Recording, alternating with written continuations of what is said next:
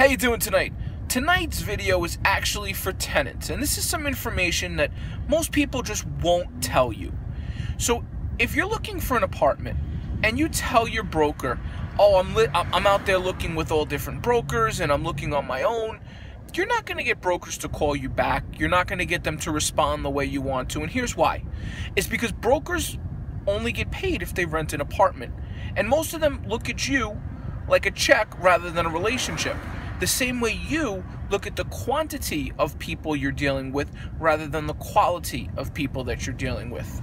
So if you're looking for an apartment, find a broker that you trust, that you think will find you a home, and stay with them until they do. As always, if you have any questions, please post in the comments below. Follow me on Facebook, LinkedIn, Snapchat, Instagram, linked uh, YouTube, and now Twitter. Have a wonderful day.